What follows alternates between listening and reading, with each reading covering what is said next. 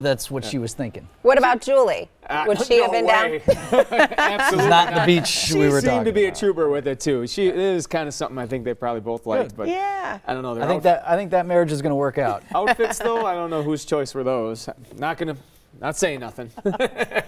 All right. Said enough. Very beach attire, yes. Okay. Uh, temperatures today hovering around 30. The next 12 hours will start to slide back into the 20s, but we have some light snow the next couple of hours uh, by 2 o'clock. Uh, again, some very light snow and maybe still a couple flurries around at 4 o'clock. But this is going to be a diminishing trend here over the next couple of hours.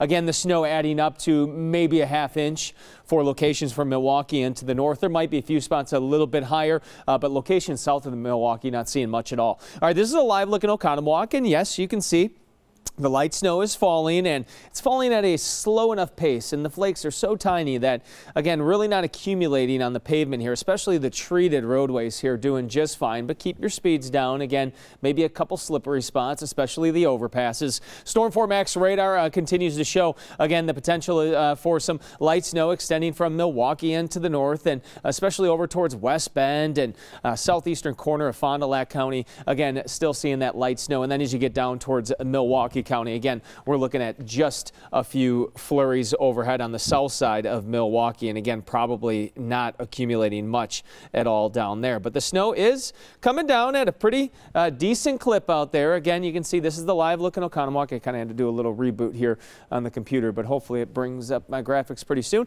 Again, a live look in Oconomowoc showing the very, very light snow. A current temperature of 27 degrees. Winds out of the southwest at 16 miles per hour. In Milwaukee, 30 degrees. A southwest wind at 11 miles per hour. Again, starting to bring in some relatively warmer air across southeastern Wisconsin. Most spots are still in the middle and upper 20s, but again, we're touching 30 in Racine, 30 degrees in Kenosha. Your weather headlines as we go through them, just a dusting of snow for today, and then sunshine for the rest of the week. We do have a warm up on the way too. Uh, things are going to be melting away as we head into uh, especially Friday and Saturday.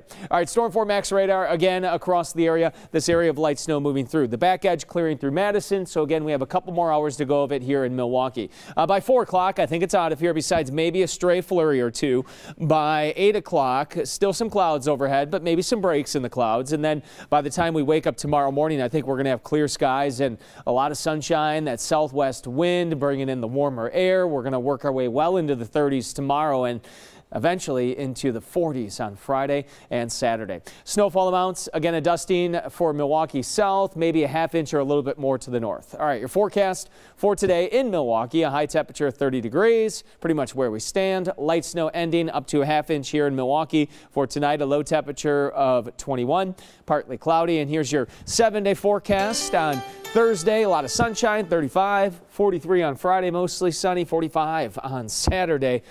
Not quite uh, January forecast here. On Sunday, partly cloudy, 43. Some rain possible on Monday, and then maybe some snow showers on Tuesday with a high temperature of 33 degrees. Not a forecast for snow lovers, Vincent Elise.